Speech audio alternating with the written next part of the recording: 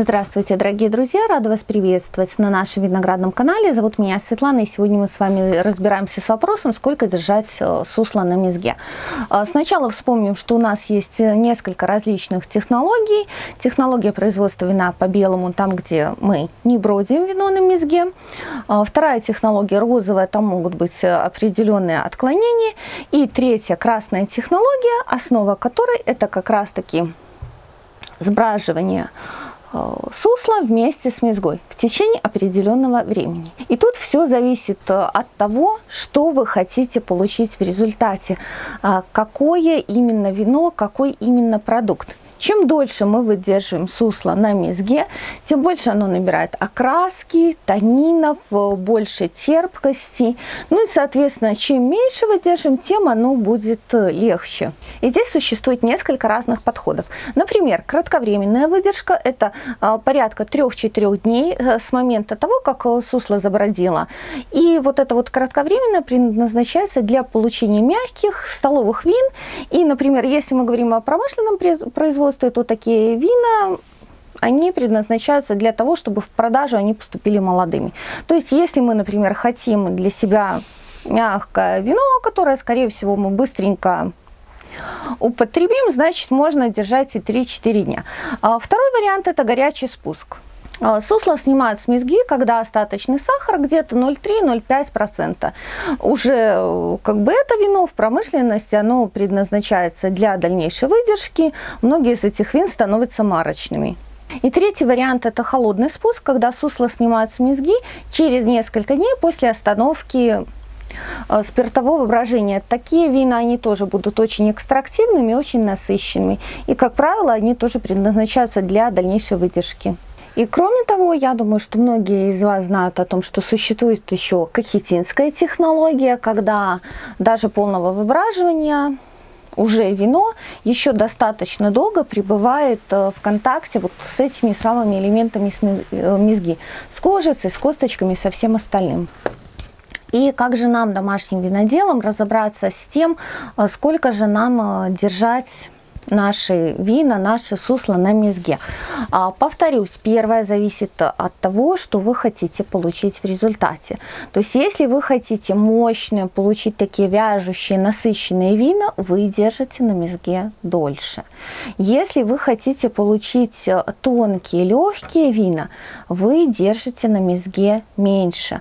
А, конкретные сроки вы уже сами подбираете под себя. При этом нам нужно еще учитывать и показатели того сорта, которые мы используем для виноделия. Так, например, есть сорта очень высокотонины, очень такие терпкие и мощные.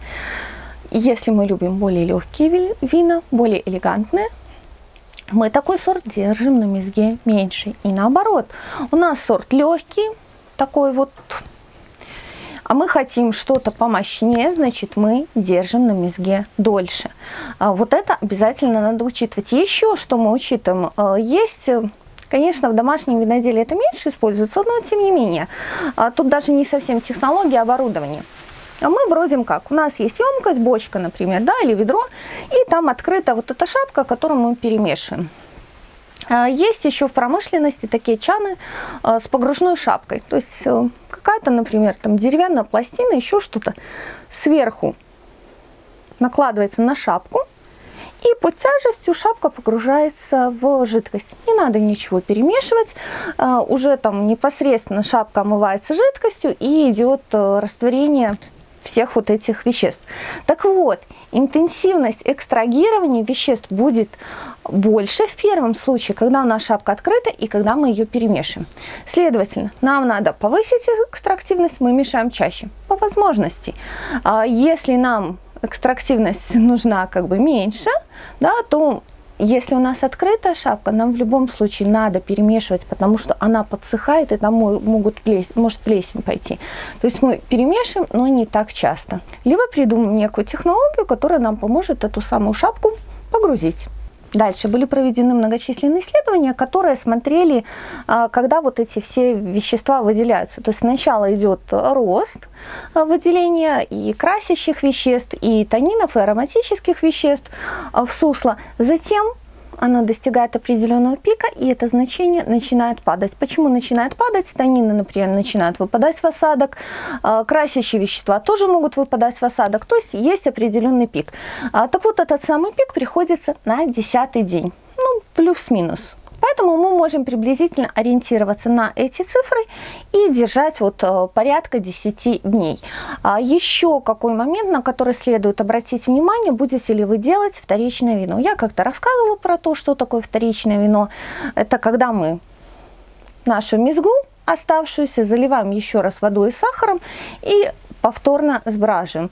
А, есть такая технология, я как-то рассказывала, когда она применяется, например, когда у нас э, недостаток алкогольных напитков, ну, либо, может, мы уксус хотим э, потом сделать, ну, мало ли чего, да, мы делаем для себя. Поэтому мы можем делать то, что мы захотим, и так, как мы считаем нужным. Но все же, если мы хотим получить вот э, нормально вот это вторичное вино, ну, более-менее, да, не совсем какой-то разбавленный компот, то вот эти 10 дней мы должны разделить между первым и вторым вином. И вторую часть сделать чуть больше. А как разделить? А, выбор ваш, но помним, у нас есть как бы пик 10, и воду выделяться будет немножко меньше, поэтому первое поддержали чуть меньше, второе поддержали чуть больше. Еще один важный момент. Если вы делаете вино из столовых сортов винограда, а, особенно таких очень плотных, мясистых, где много пектиновых соединений, либо вы делаете вино из э, винограда сорта Изабелла, в котором тоже достаточно много пектинов. Пектины в процессе брожения дают метанол. Да, они дают его не в огромных количествах, но здесь э, нет смысла держать на мезге долго.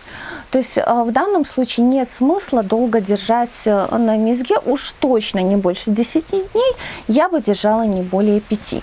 А что касается меня, я ставлю по красной технологии и вина из белых сортов винограда. Это будут так э, называемые оранжевые вина.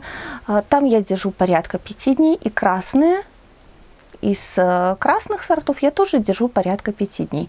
А, возможно, в этом году я поэкспериментирую и чего-то подержу дольше. Если я увижу какой-то значимый эффект, я вам об этом расскажу. Ну вот я держу приблизительно в таких пределах. Сколько держать вам?